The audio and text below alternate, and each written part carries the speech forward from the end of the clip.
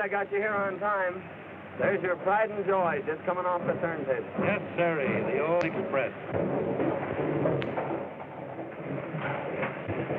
Hold on, Steve. I'll take her down.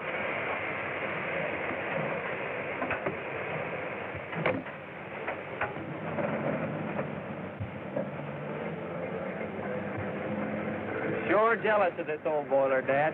Why shouldn't I be? My boy, she's part of me. Or maybe I'm just part of her. I don't know. I took her out on her first run. And I hope I'll be at her throttle when I make my last. Too bad the old heat's out of date. What do you mean out of date? You're talking about the Hurricane Express, the fastest train in the country, the fastest train in any country. Out of date. Huh. Well, I wasn't comparing her to trains.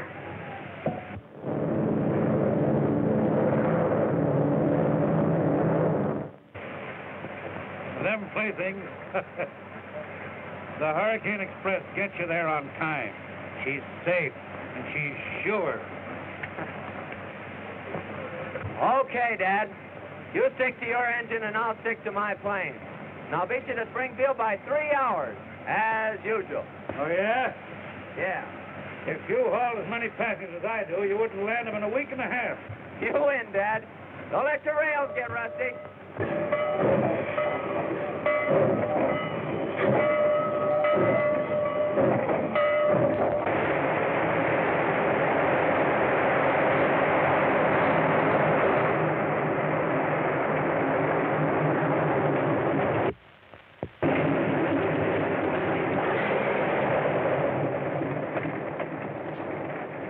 Hi, gang. It's all tuned up, Larry, and raring to go. Well, so am I.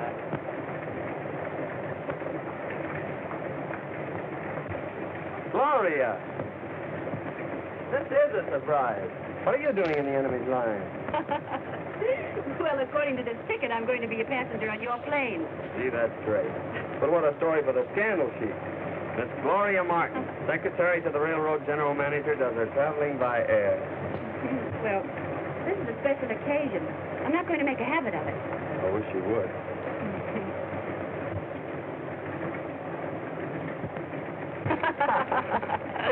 Anyway, I'll get a big thrill out of seeing our railroad from the air.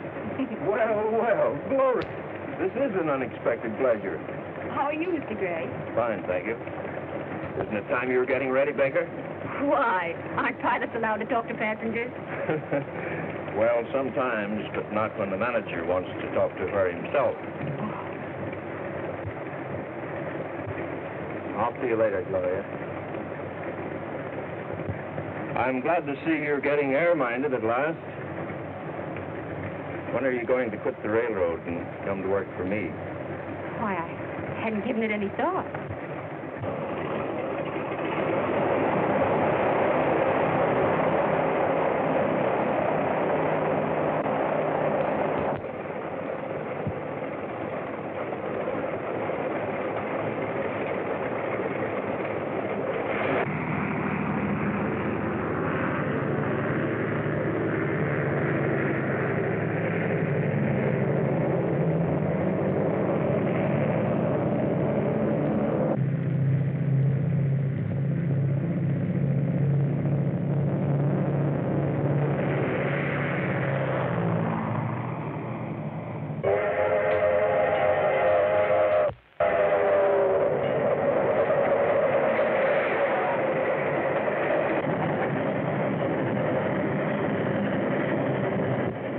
Boy, we sure make a knack. I hope that westbound don't hold us up. Don't worry about the westbound. Tom Jordan will have her on the siding when we hit Plainville.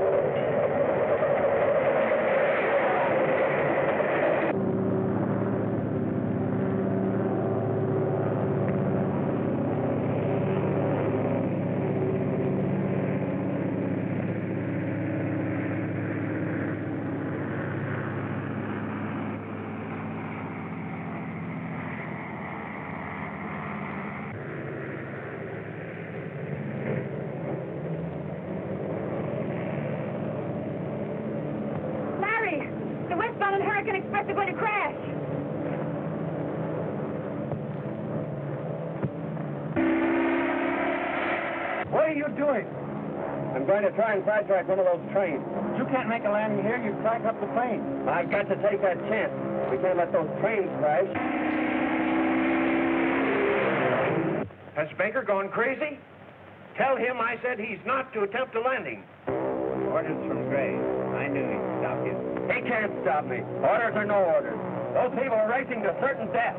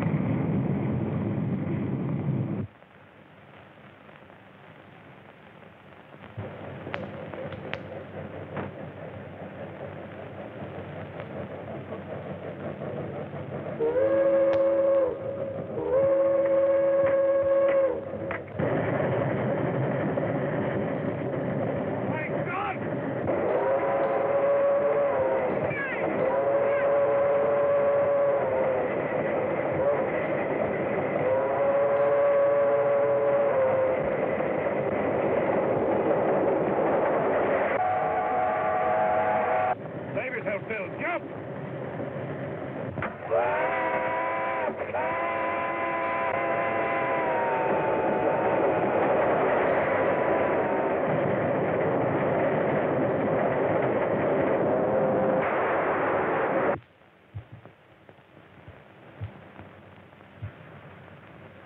Oh, Dad!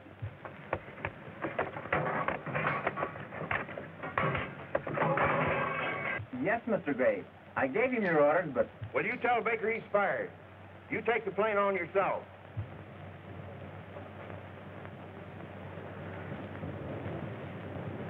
He died instantly.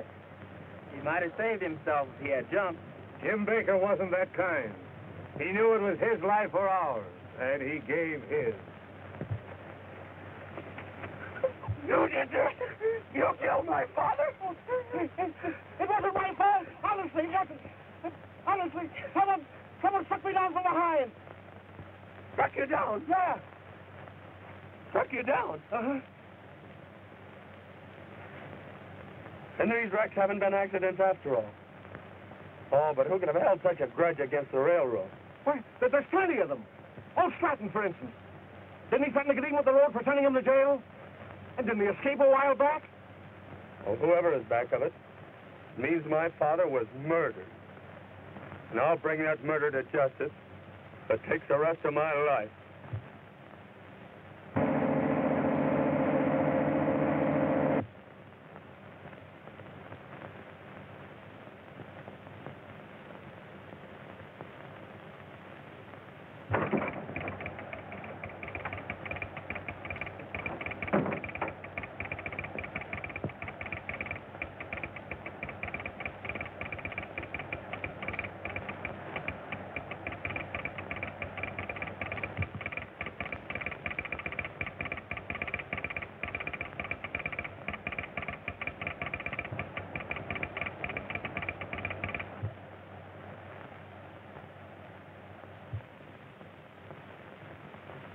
The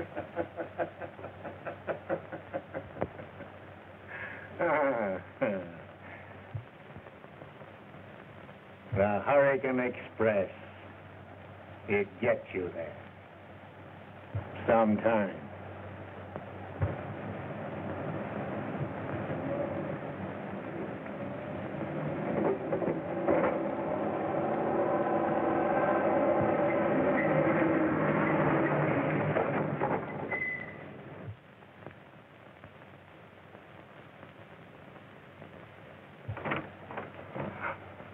Dad! Gloria. What are you doing here? I had to come. Dad, you've got to go back. Back? To prison? Yes. You were safe in prison. Now they suspect that you're behind all these mysterious accidents on the railroad. There's been another terrible wreck. Uh, never mind the wreck. I know all about it. Dad, And you did have something to do with it. Why, Gloria, are you turning against me, too? When I tell you, the railroad company did frame me. They held out evidence in my trial that would have cleared me. I do believe in you, Dad, and I'm trying to find the papers that you want, but I must be careful. Does anybody suspect that you are uh, Gloria Stratton? No. To them, I'm just Gloria Martin, the general manager's secretary. Good, good. Everything depends upon you. Until you secure that evidence, I'll be a horrid animal, a fugitive from justice.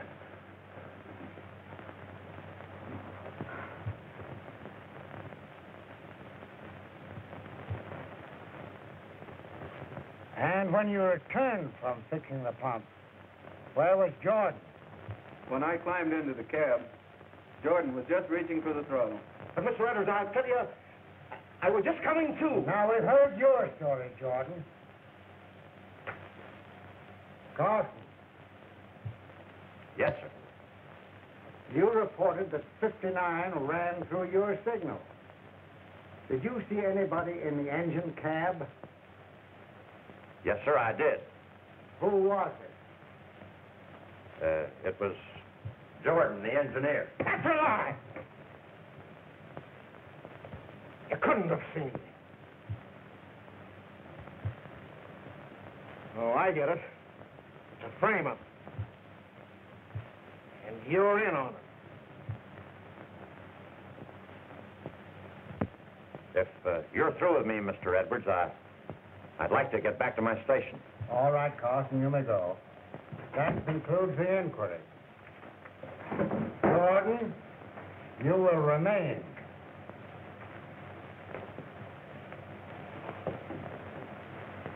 The evidence in the case proves that you are guilty of criminal negligence. You are discharged.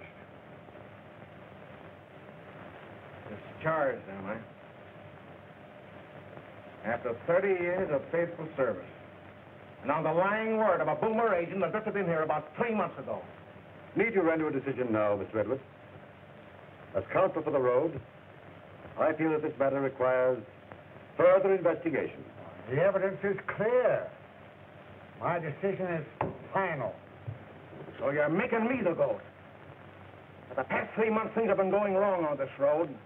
Late trains, open switches, overlapping orders, mysterious wrecks. And you can't find out who's responsible. Well, you're not going to frame it onto me. Nobody's trying to frame anything on you, Jordan. You're discharged for cause. Oh. That's the answer, is it? So you're blacklisting me. Driving me out of railroading. All right, Mr. Edwards. You've made a marked man out of me. Now you watch my smoke. Is that a threat? I'm done talking. Actions speak louder than words.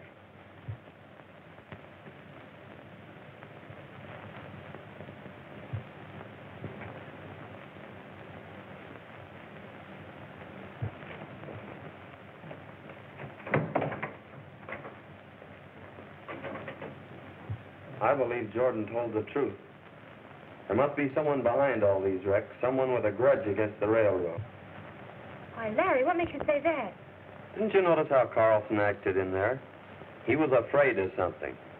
He knew more than he told. And I'm going down to Plainville tonight and check up on him. Larry, what good would that do you? Well, I intend to find the man that caused that wreck and murdered my father.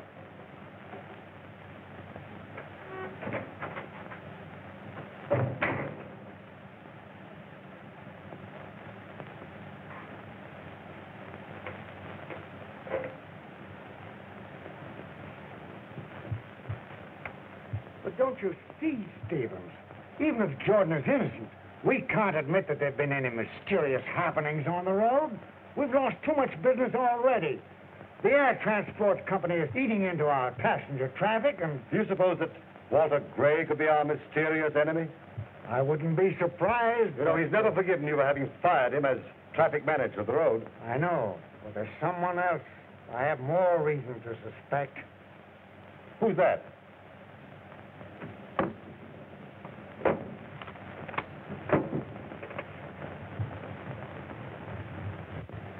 Stratton. Now that you mention it, you know, it is strange that all these things have happened since he escaped from prison. You know, I'll never be safe until Stratton is again behind the bars.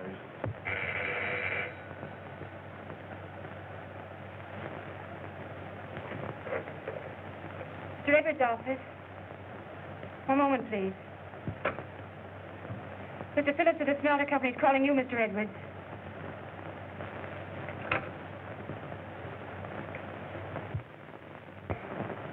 Your gold shipment is going on the Hurricane Express tonight. And now I assure you there's nothing to worry about. The man responsible for that wreck has been discharged. Okay. Thank you. Goodbye. Just as I said, Walter Gray is using the wreck as an argument to get the smelter business away from us. Edwards speaking.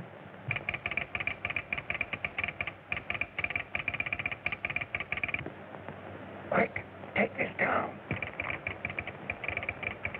The Hurricane Express will not get through tonight. The wrecker. Hello. Oh, oh. Uh, try and trace that call, will you? And send Mr. Matthews in here to me at once. Looks as if Jordan was right. It was the wrecker that struck him down, and he tried the same game tonight. Well, if he does, we'll be waiting for him. Oh, Matthews, come here. Come here. Look at this. Now, that's your job. You'll be on that train tonight with as many men as you need. Put a special guard around that gold shipment and have an armed man in the engine cab. We've got to get that wrecker.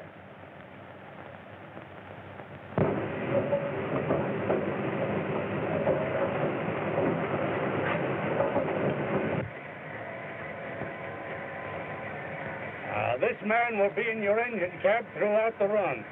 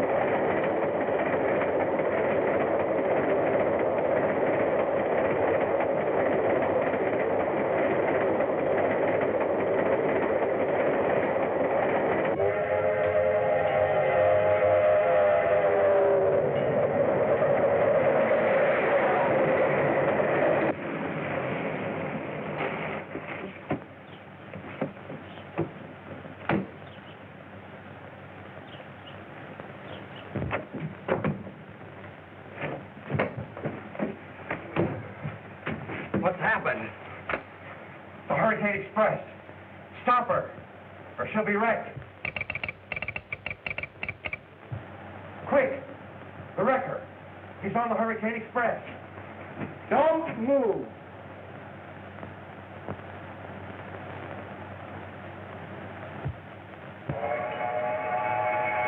Okay, Sandy, tie him up too.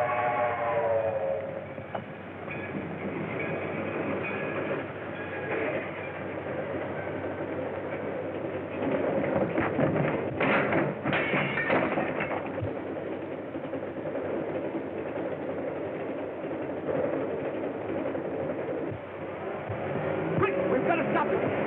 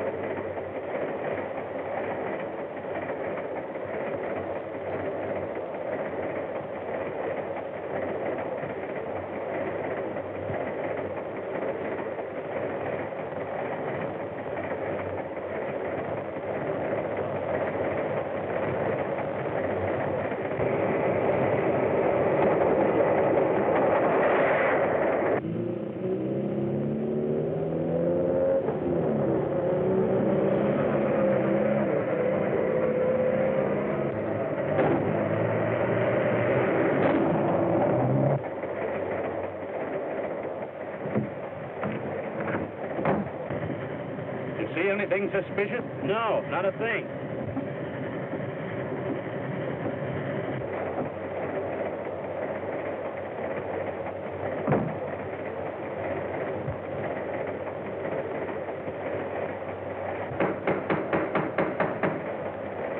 Open up, Henny. It's Matthew.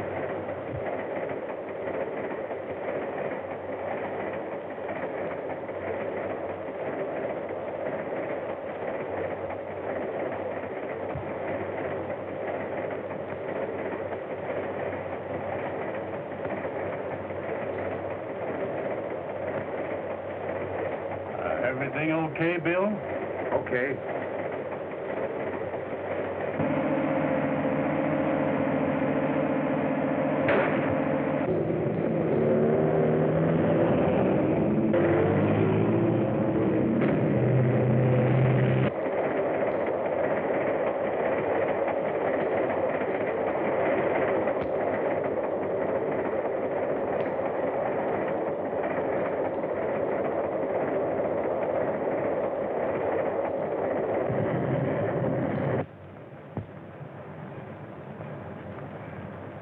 It now.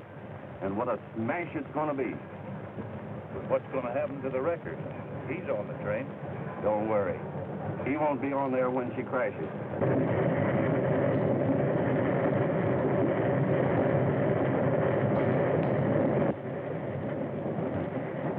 It's only Bill.